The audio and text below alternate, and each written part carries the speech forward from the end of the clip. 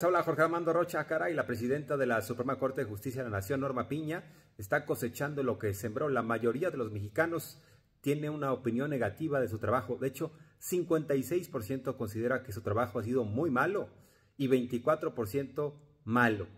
Eh, ¿Quién se mantendría en eh, su cargo en alguna empresa si tuviera estas calificaciones? Eh, Norma Piña tendría que dar un paso al costado, ofrecer disculpas y rendir cuentas. Hay que destacar que se la pasó poniéndole obstáculos a la transformación del país, eso por un lado, y por el otro, incluso prometió, recuerdan que el dinero de los fideicomisos de los ministros iría a los damnificados de Acapulco, pues nada más nos dio atole con el dedo a los mexicanos, lo hizo para la foto, para quedar bien, mandó este comunicado y nunca cumplió con su palabra.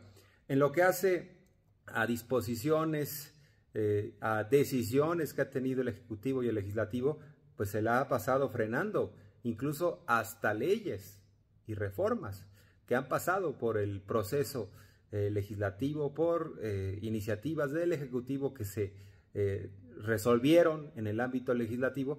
Bueno, hay algunas normas, algunas leyes que a Norma Piña no le gustaron y las detuvo. Así que eh, pues por eso tiene una pésima imagen. ¿Qué pasaría ante una hipotética reforma al Poder Judicial? Imagínense que ella se pusiera a disposición de la gente a través del voto popular, pues seguramente no eh, quedaría, seguramente no votarían en su favor.